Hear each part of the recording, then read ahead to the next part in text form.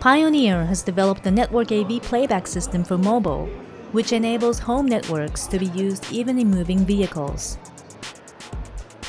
This technology uses Community WiMAX, which is provided mainly by mobile WiMAX and cable TV operators to enable TV programs and music recorded at home to be received and streamed on a car navigator or similar device.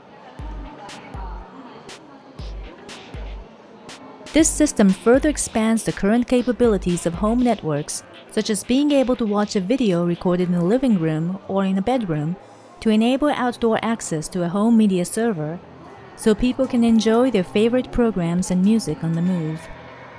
実はパイオニアはあのカーナビゲーションですとトップシェアのあの、まあ、市場を持っておりまして、まあ、パイオニア製のカーナビゲーションとかリアテレビの方にあの同層の機能を入れて、まあ、コンビネーションでですねあのビジネスが展開できればいいかなというふうに思っております。ね、あのこちらにもあの通信速度を表示しておりますけどもあの通信速度が変動した場合もですねあのバッファリングの効果と申しましてあの中に、えー、あるアルゴリズムが入っておりましてあの変動に追従できるようなシステムに構築しております。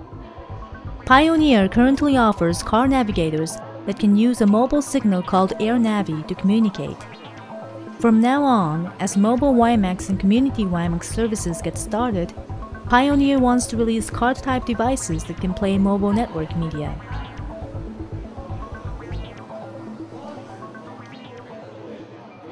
DigInfo News